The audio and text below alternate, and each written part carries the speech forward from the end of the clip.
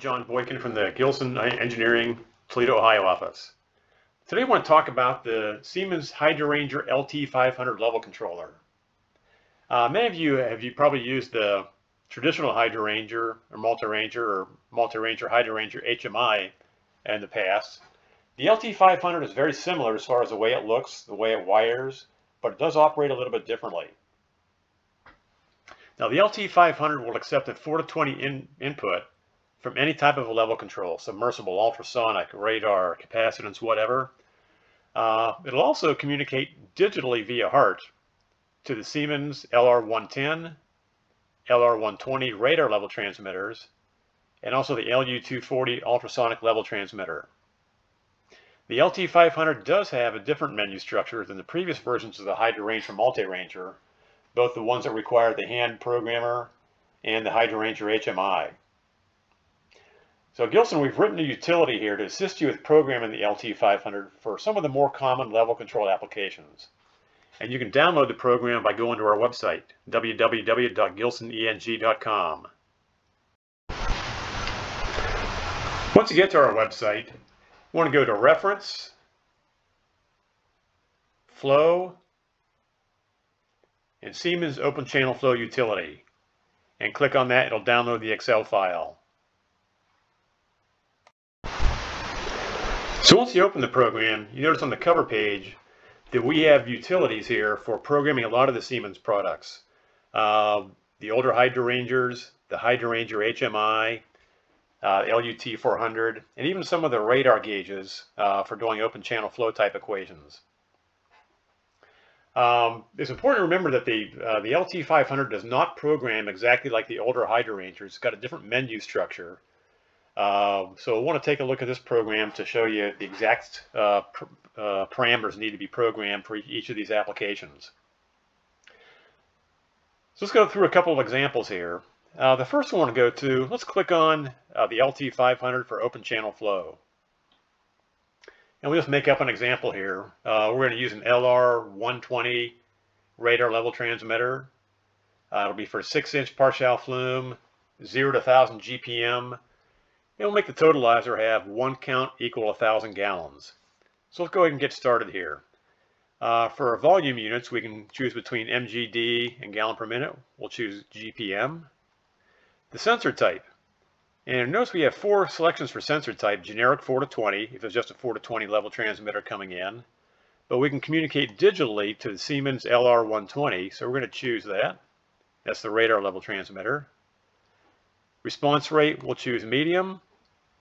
For our primary measuring device, you see we have all these different uh, flumes and weirs to select from.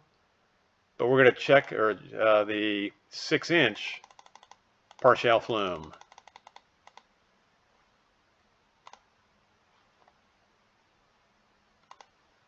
Totalizer unit will be in kgal, so each count will equal 1,000 gallons. We'll have no decimal place on the totalizer and we're going to select our maximum flow rate of 1000 GPM. So the 4 to 20 output will represent 0, uh, 0 to 1000 GPM. Looking at the little uh, drawing over here, this is a V-notch weir, but the same will be for a Parshall flume uh, or any other type of uh, weir or flume. We need to select our low calibration point, which is the distance from the sensor face to my zero flow point. And we'll just make up a value here of maybe 36 inches. And once we do that, it calculates the upper calibration point also, which is the distance from my sensor face to the maximum level at, at, at the maximum flow rate. For zero head offset, we'll just select uh, an offset of zero inches. And low flow cutoff, you only want to make that a couple percent of your full-scale flow rate. So anything below that will be driven to zero. In this case, we'll make it 10 GPM. So anything less than 10 GPM going through that 6-inch Parshall flume will be driven to zero. So right now, we've got it set up for our application.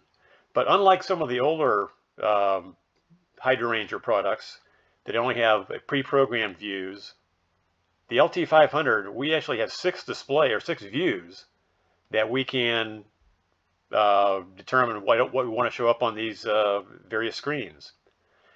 Although you have six, normally one or two is all you need. So we're going to program one here. So our first view, we're going to show three things.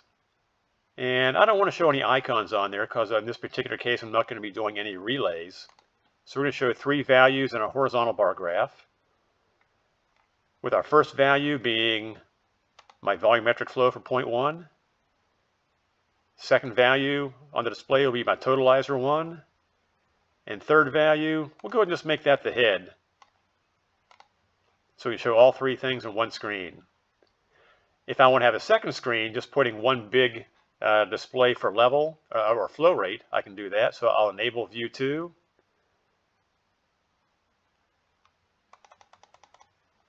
I'll do one value in horizontal bar graph, and that value is going to be my volumetric flow. Nothing else will be shown. So I have two views I can toggle between in the run mode between my uh, flow rate, total, and head, and a second view being a large display for flow rate only. And that's all you need to do is program that in uh, based on all these parameters. Another common application we do is pump control. So we're going to click over to that tab. And in this case, uh, let's just make up an example of 0 to 10 feet with two pumps alternating, a high level alarm and low level alarm. So we're going to make a low cal point uh, 10 feet away from the sensor face. Upper calibration point right at the sensor face. That's my 4 to 20 range. I'm going to select feet as my length units. Let's in this case, instead of using one of the radar gauges, we'll assume maybe a submersible level transmitter or some other device that gives you an analog 4 to 20 signal. So we're going to select 4 to 20 for my sensor type. Response rate, we'll change that to medium. We'll have two pumps, and each pump will be alternating. So alternate duty assist will be the algorithm we use. For pump one, we'll make the set point come on at four feet. We'll go off at three feet. Second pump will maybe come on at six feet and also off at three feet. For my high level and low level alarm, we've already got uh, relays one and two taken care of. So come down here to relay three. I'll make my high level alarm occur at seven feet, maybe go off at 6.5 feet. My low level alarm comes on at two feet and off at 2.5 feet. For the analog output, we'll make the upper range value. And if we take a look here, actually we can camp on here. Uh, we'll make 10 feet of level equals 20 milliamp, and 0 feet of level equals 4 milliamp, maybe a 2 second time delay in there. And just like in the open channel flow, we have six screens we can, we can play with. Um, so we're going to come over here to the first view. And really, for a pump control application, the only thing we really probably care about is the actual level and maybe the icons that show you what the relay status is and maybe a vertical bar graph. So view one will be one value, the icons and vertical bar graph with the first value being level. And everything else in this demo can be none. Another uh, application that we see in the wastewater industry is differential level. That's normally at the headworks of the plant where you're looking to measure the differential level between the upstream and downstream of a uh, screen or rake assembly. And when that screen gets clogged up, that's when you want to jog the screen and get the flow going again. So very important to remember for the LT500 to do a differential level, which is two sensors upstream and downstream, I need the dual point version or two point version of the LT500 for the level sensor upstream and the level sensor downstream. So let's go ahead and set it up here. Uh, response rate, we'll keep it medium. We'll do inches. We're going to go to an LR 120 for my, both of my level sensors. The milliamp output from the LT500 will represent the difference. That's milliamp output 1. And the second milliamp output we can maybe make the level which is upstream, level one. So let's go up here, my low cal point, we'll just make up an example that uh, the upstream sensor has a range of 0 to, to 60 inches, or 0 to 5 feet. So my lower calibration point is 60 inches away from the sensor. Upper cal point is right at the sensor face. Same thing for my downstream.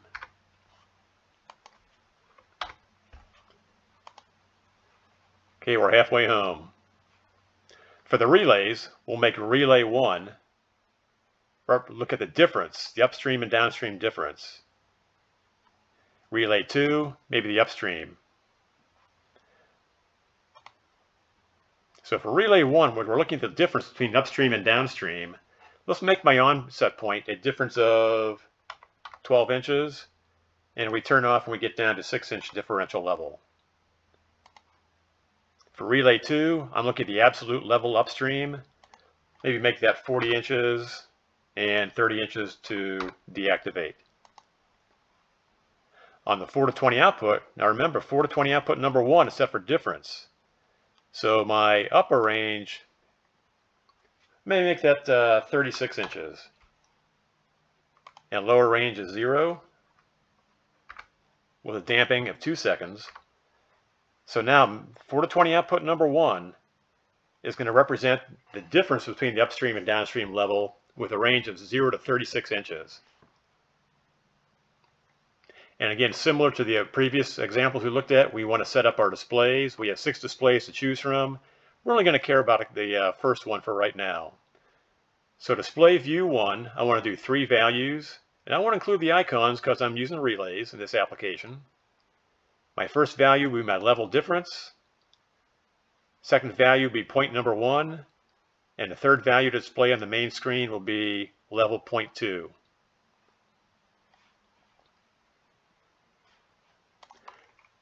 And that's really it. Uh, program those numbers in and you should be up and running. Uh, this gives you an example right here of what the uh, all these parameters look like the uh, in a screen application.